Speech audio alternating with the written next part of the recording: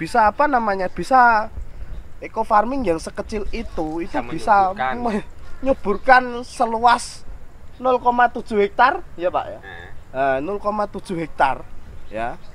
Ini dengan, biar dengan komposisi hanya 5 5 5 5 lima apa pak? 5 saset lah. 5 saset. Nah 5 saset itu dan harganya berapa pak? Satu satu Kalau- saset atau nah, kalau umum kalau Ya. lewat sales itu 250 oh, satu saset itu pak. Eh, Ah, 0,30 Oh. berarti habis ini habis 5 Lima. saset. Berarti penyemprotan pertama dasarnya kan 3 tiga oh. Yang yang dua itu untuk umur 14 hari. Hmm. satu saset itu kita buat dua nganu dua dua alternatif. 14 hari penyemprotan terus 20 umur 28 lagi 32 hari nanti terakhir umur 50 oh gitu 50 50 dan hari. ini sudah ya pak ya? Sudah ini umur rencana besok. besok. Oh besok penyepraian insya Allah besok penyepraian saya akan nanti it- untuk lahannya itu di sana ya. Sana deket yang hijau itu loh.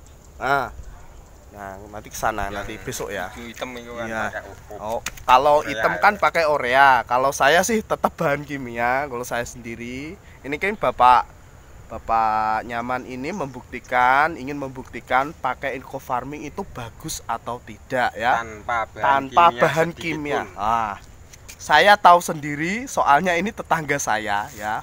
Saya tahu sendiri, bisa dibuktikan di ini alamatnya di Desa Gritan ya, Pati Jawa Tengah ya. Kan banyak sekali pro kontra antara yang sales antara sales atau pelopor dari eco farming dengan ya bukan bukan pecinta bahan kimia dengan petani yang pakai bahan kimia ya. Nanti hasilnya bisa saya upload kembali ya. Saat panen apakah nanti sama seperti pakai kimia atau tidak ya. Untuk video apa namanya? Video video lahannya itu besok saya ke sana. Ini udah agak malam, ini baru aja ketemu tadi mancing belut ya. ya gitu. Nah, ini Pak Ladu sendiri Bapak nyaman ya membuktikan nanti bagus atau tidaknya biar rekan-rekan sekalian di seluruh Nusantara petani di Indonesia itu tahu ya. Bukan cuma mereka-reka oh jelek, oh jelek, oh jelek. Jangan. Kalau karya anak Nusantara kita banggakan. Jangan langsung kita jangan langsung kita bully atau apa gimana. Ya, vonis jelek-jelek ya, jangan gitu. Saya juga bukan sales ya, bukan sales. Ingat kembali, saya bukan sales apa-apa, obat apa bukan. Tapi saya ingin membuktikan ya, membuktikan kenyataannya ya. Kalau emang pengurangan bahan kimia lebih bagus kan? Nah, makin lestari bumi. Nah, bumi ini sudah terlalu banyak pencemaran kayak gitu ya. Ya, itulah tadi ya salam hebat. Nanti kelanjutannya ke lahannya. Yuk.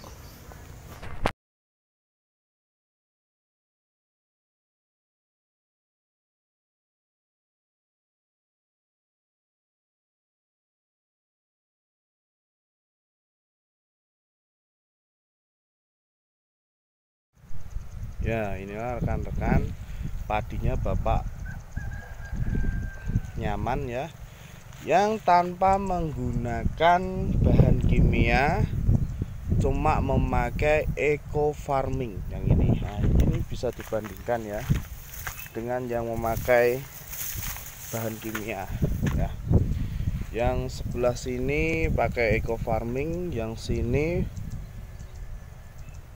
tidak memakai eco farming atau pakai urea atau pupuk kimia ya ya saya sendiri itu bukan sales obat atau apa.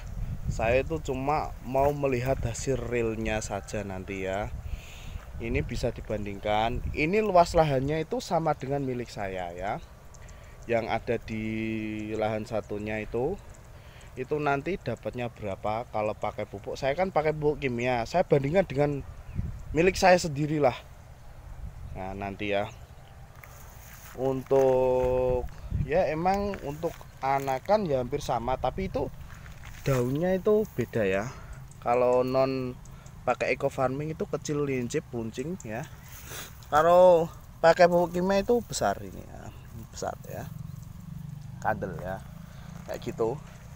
Ini tanamnya itu tanggal kelihatannya 29 kalau nggak salah 30 Desember 29 Desember ini ya ini sudah mulai keluar malainya. Ya. Ini tidak memakai pupuk kimia apa pun cuma memakai eco farming ya. Lihat dari tanahnya ini saya coba. Yang katanya bisa oke. Okay. wow langsung makbus ini tanahnya bandingkan dengan ini.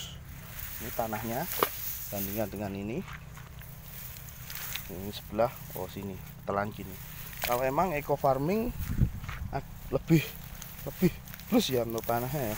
Oh mulur gitu loh ya. Kalau yang kimia ini lihat. Hmm. lebih dangkal ya kayak gitu. Ya. Untuk anakannya sih katanya bapak nyaman sendiri tuh sama jumlahnya. Ya kurang lebih 18 sampai 25an ya. Sekitar segitu katanya lo ya. Saya kan nggak menghitung dari awal. Ini Pak Nyaman sendiri yang sudah bilang ya. Ya. Saya sendiri bukan sales obat saya juga bukan apa namanya pemakai eco farming juga. Ini biar rekan-rekan di petani-petani itu tahu kalau emang bagus kita pakai ya biar tidak ada pro dan kontra gitu ya. Tujuan saya itu bukan untuk apa-apa ya. Yuk. Untuk itu nanti itu hasilnya berapa saya bandingkan dengan milik saya yang ada di sana ya. Kalau ya enggak gitulah. Kita bandingkan itu saat kemarin pakai pupuk kimia dan ini pakai tidak ya kita bandingkan gitu yang kimia pakai pupuk kimia dan memakai eco farming. Hasilnya berapa? Lahannya sama? Yo. Tapi tetap terus pantengin terus channel saya pemuda petani. Jangan lupa klik subscribe dan bunyikan loncengnya agar tidak ketinggalan informasi-informasi seputar pertanian padi. Ya untuk itu pantengin terus ya. Yuk. Semoga para petani di Indonesia hasilnya bisa melimpah ruah dan panennya bagus serta terhindar dari semua hama penyakit. Ya. Sekian, wassalamualaikum warahmatullahi wabarakatuh.